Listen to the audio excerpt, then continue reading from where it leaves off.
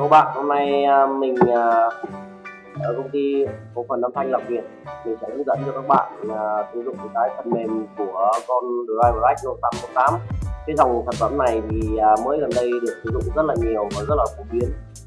Thì bởi là nó là rất có tính năng nổi bật sử dụng cho các cái dàn âm thanh sự kiện dàn âm thanh đám cưới. Thì con này đặc trưng của nó là đường 4 in và 8 ao thì ờ, hiện tại ở đây tôi đang sử dụng là hai đường in vào và uh, hai đường uh, đường giao full hai đường giao lo tắt và hai đường giao lo monitor Đấy. thì uh, để uh, các bạn mà sử dụng cái um, Note 848 này thì trong cái cái cái, cái hộp của Note 48 thì sẽ có một cái đĩa phần mềm trong đấy có khi bạn mở ra thì sẽ có một cái folder là digital audio processor thì uh, cái phần mềm này khi mình mở ra thì sẽ có một cái đoạn video ngắn của cái nhà sản xuất uh, giới thiệu và hướng dẫn cho các bạn kết nối đến cái phần mềm của của cái um, con drive này. Thì ở đây mình sẽ hướng dẫn cho các bạn là làm thế nào để kết nối và điều chỉnh cái con drive này. Thì các bạn uh, vào cái phần digital audio processor software này các bạn click vào cái DSP audio processor. Kích giúp nhé. Thì ở đây uh, uh, tôi có kết nối của cái ờ, uh, dưới này dưới này rồi. Thì um, nếu như ai mà đăng nhập mà kết nối qua địa chỉ IP một lần đấy thì lần sau sẽ không cần phải điền cái IP này nữa và cứ cứ thế click vào thì nó sẽ hiển thị cái là mình điền password. Password ở đây là admin nhé. Đấy. còn từ ban đầu tiên nếu như mà bạn nào mà chưa kết nối bao giờ đến cái máy tính của bạn ấy thì bạn vào cái uh, mạng này đấy, bạn chọn cái Open Network and Sharing Center này. Đấy thì bạn chọn cái logo connection bạn chọn detail. Đấy. thì xem cái giữa cái mạng LAN cái mạng LAN của cái con ờ, uh, 48 này là nó địa chỉ bao nhiêu và mình sẽ config cái máy tính của mình này và nó sẽ đúng cái địa chỉ mạng LAN của cái drive đấy thì nó sẽ kết nối được.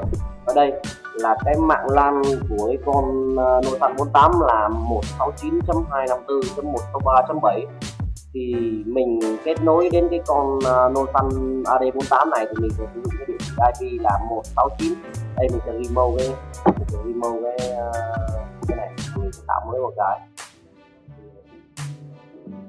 Nên mình kết nối rồi thì nó sẽ thu remove này mình kết nối rồi thì nó cũng sẽ không remove nữa thì đây bạn điền uh, à, đến cái đoạn mà điền cái đuôi cuối cùng thì bạn cứ cho một số bất kỳ ví dụ như ở nhân phần 48 là bảy rồi thì ở digital audio với digital của cái này thì ờ, các bạn điền là từ 10 đến 15 20 gì đấy tùy sau đấy là bạn uh, kích đúc vào cái IP này bạn điền mật khẩu nó là admin.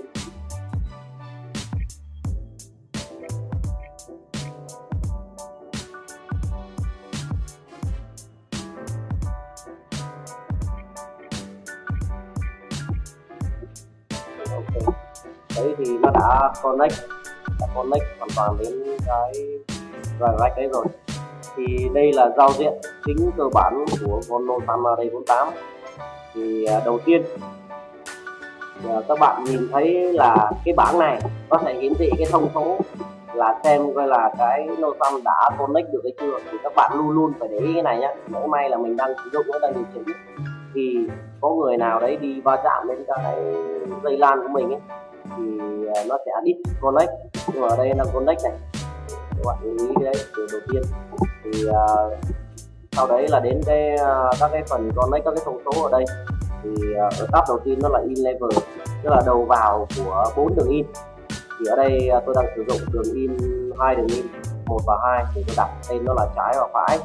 Thì tôi luôn luôn để nó ở cái uh, cái cái đường cái, cái, cái mức là không không db cái, cái mức khuyến cáo của cái, cái, cái sản phẩm này. Đấy thì hai đường này tôi để là không db hết. À, cái phần ghét cái phần ghét này thì thật ra nếu như mà các bạn muốn thật sự sử dụng nó thuần thảo ấy thì các bạn nên đọc một bài viết về ghét trong hệ thống âm thanh. Đấy ghét cần phải sử dụng như thế nào? Uh, ghét ừ, sử dụng như thế nào để cho nó hiệu quả? Thì các bạn nên google qua search thì có rất nhiều các bài viết mà vào cái website tạp chí mic.com thì nó sẽ có một cái cái, cái, cái, cái bài viết rất là chi tiết về cái cái, cái um, chức năng ghép này của của con Drive Rack. Hoặc là các bạn có thể lên website lạc việt audio và gõ cái bài viết là uh, cách sử dụng ghép. Ở đây thì tôi các cái thông số thì tôi đã config nó làm thế nào để cho nó tốt nhất có thể rồi về cái phần uh, feedback. Tức là cái feedback của cái ờ, bốn uh, đường in này vào thì nó ở đây nó có chức năng là feedback cái bốn đường in. Thì uh, cái feedback là cái phản hồi âm thanh đầu vào. Tức là ở đây là bộ phản hồi âm thanh cho đầu vào nhé. Thì nếu như mà bị lắc sen quá thì các bạn có thể bật nó lên. Đấy. Lắc sen quá bị hút nhiều quá thì nó các bạn bật nó lên thì khi các bạn bật nó lên thì nó sẽ áp dụng cho toàn bộ hệ thống âm thanh nhưng nó sẽ có nó sẽ có những cái mặt trái của nó khi bạn thực hành. Thì các bạn cứ thử test nó xem thế nào. Thì ở đây tôi sẽ không bật nó lên tại vì tôi không bị lắc sen à, ờ, cái uh, mục thứ tư là mục của infitter cái mục này cũng uh, tương đối quan trọng.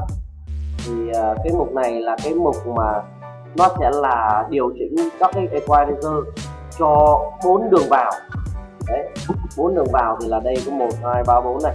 Đấy thì tôi sẽ thông thường thì cái đường vào của âm thanh ấy thì tôi gần như tôi để nó là nó nó là bằng hết. Và tôi chỉ căn chỉnh cái outfitter thôi. Đấy, thì đây nó có hai đường này. Thì khi mà cái nhạc của bạn ấy hoặc là cái đàn trống cái ờ, hoặc là cái bộ nhạc cụ của bạn ấy nó nó nó có một cái đặc trưng là mình cần phải căn chỉnh cái đầu vào làm thế nào để cho nó ờ, nó hay hơn. Thì mình mới cần cần phải can thiệp vào đây thôi. Cái phần này nó là in limited cái phần limited nó nó nó cũng y hệt như cái phần ghét này. Tức là mình cần phải uh, mình cần phải đọc và mình hiểu nó thì mình mới sử dụng được. Nó nó nó, nó, nó thành thạo. Thì ở đây tôi không sử dụng nó tại vì à, thực chất là nếu mà sử dụng cái này ấy, nó in cho các cái hội trường nhiều hơn. Thì khi mà sử dụng cho các cái hội trường ấy thì tôi sẽ có một cái bài à, một cái video hướng dẫn cụ thể để sử dụng cái in tận này trong cái hội trường như thế nào. Để các bạn phải đón xem các cái video uh, uh, được sau này.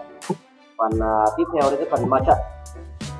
Về magic tức là cái ma trận này nó sẽ là cái um, uh, khi bạn sử dụng cái đầu vào nào và bạn sẽ cắm cái đầu ra nào để cho bạn chủ động được cái là uh, mình sử dụng cái đầu vào một cho cái uh, đầu ra hai hoặc là đầu ra ba là đầu ra bốn. Ở đây uh, tôi đang sử dụng như đầu tiên tôi sử dụng là đầu uh, ra một và đầu ra hai. Đây tôi là in một và in hai. In một in hai tôi sử dụng in một và in hai.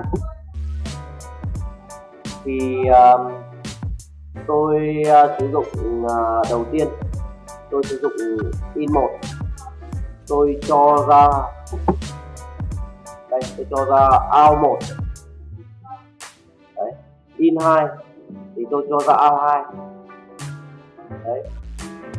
Đây là ra lo full nhé bạn nhé. Ra lo full này. Ao output một là lo full output hai là lo full tức là full trái và full phải thì nó đều là nó đều ra hai cái là trái và phải là stereo rồi. Đấy đến đến phần ao 3 và ao 4 là loa súp nhé. Thì là tôi cái kênh ờ, trái thì tôi cũng là lấy cái tín hiệu từ uh, trái ra cái ao 3 phải ra ao 4 đấy loa monitor cũng vậy. Loa monitor thì trái tôi cho ra là là 5 phải tôi cho ra là 6 cái ma trận nếu như các bạn uh, sử dụng thêm các đường in nữa mà cho ra đường ao một này thì các bạn click vào đây. Khi nó sử dụng nó xanh thì nó sẽ áp dụng. Đấy. thì thông thường cái hệ thống mà uh, một trái thì cho ra đường ao một phải thì cho ra đường ao hai. Đây là ao một và ao hai là đang sử dụng cho loa full loa toàn trái còn uh, loa tắt thì tôi cũng lấy tín hiệu từ trái thì cho ra ao ba và phải cho ra ao bốn. Thì cái này thì nó nếu nó tương đối dễ hiểu thôi thì nếu như mà bạn nào mà không hiểu thì có thể alo trực tiếp cho tôi qua số điện thoại à, số điện thoại kỹ thuật là 0982 655 355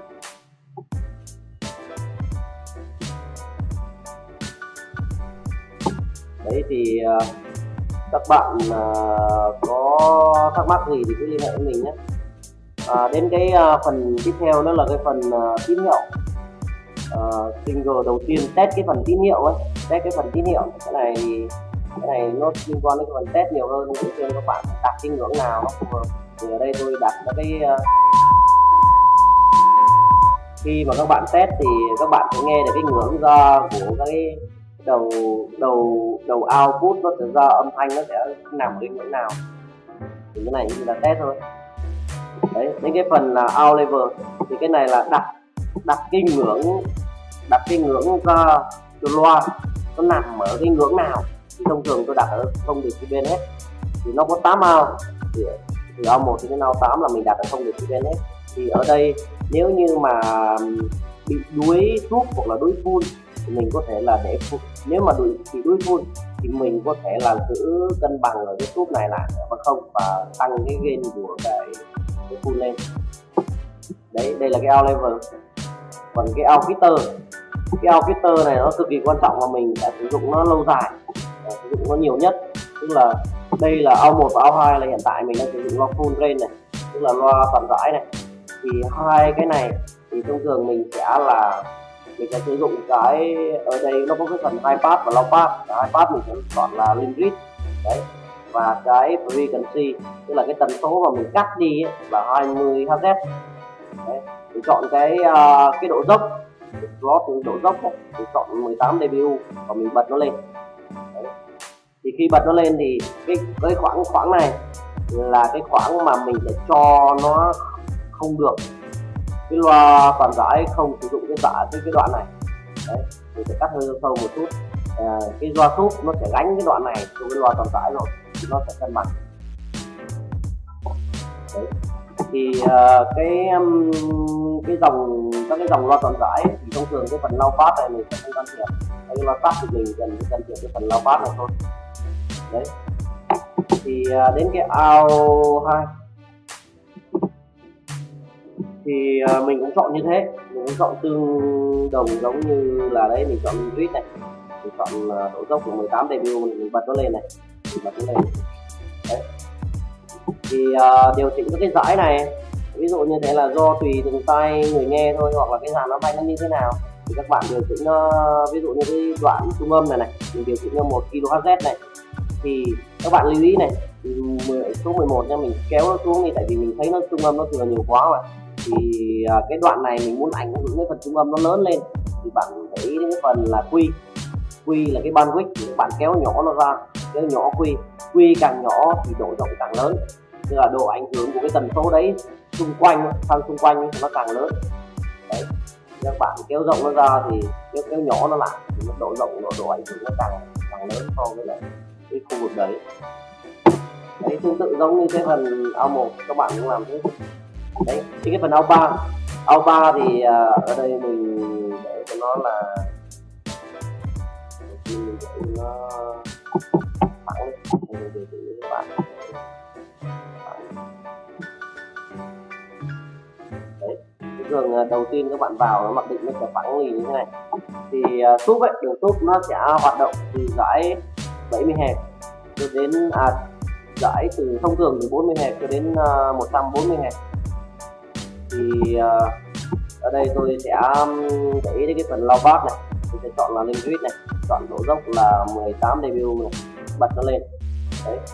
Thì uh, tôi kéo nó ra vào khoảng là 140 đi.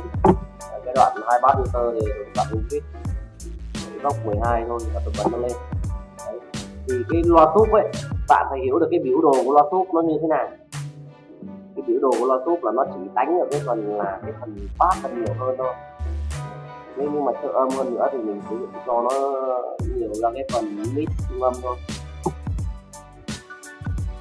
Đấy thì tùy từng cái cái cái uh, cái chất lượng hoặc là cái khoảng trống ở cái khu vực mà mình làm thực hiện thì mình có thể điều chỉnh loa túp cho nó phù hợp đấy tiếp tục đến ao 4 ao 4 thì cũng vậy. Ao 4 thì mình điều chỉnh như ao 3 à, ờ, tiếp tục đến ao 5 ao 5 là loa monitor. Loa monitor thì uh, cũng điều chỉnh gần tương đồng giống như cái dòng loa toàn rãi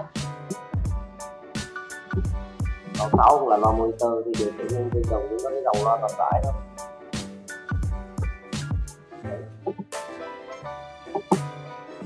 thì uh, sau khi xong thì uh, sau khi xong hết tất cả rồi các bạn nghe thì thì uh, các bạn có thể để xem lại coi là nó không hay ở chỗ nào. Nếu không hay về nhạc thì các bạn có thể vào cái phần auditor này để xem coi là à, là nó thừa hay thứ nào để mình nâng lên hạ xuống.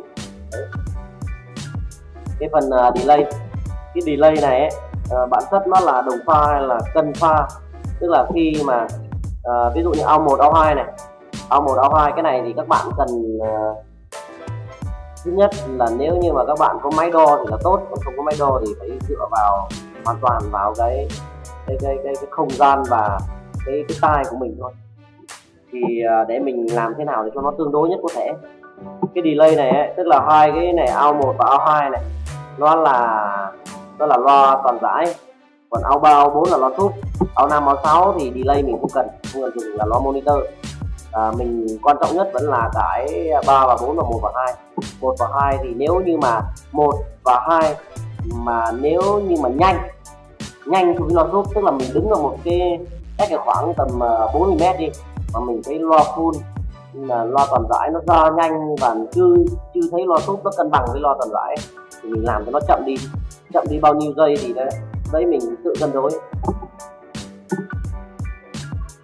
đấy thì cái này ao này thì các bạn có thể tìm hiểu ở cái ao delay này trên Google à, các bạn có thể hiểu được là nó là cái gì thì khi mà xong rồi thì các bạn lưu cấu hình này lại vào cái phần preset này để set cấu hình này lại đấy. set cấu hình này viết lại là được ok sau đầu mình chọn Vico Vico là sẽ chọn cấu hình này cho nó hoạt động uh, hoạt động từ giờ từ đoạn hoạt động mặc định ok cảm ơn các bạn nhé.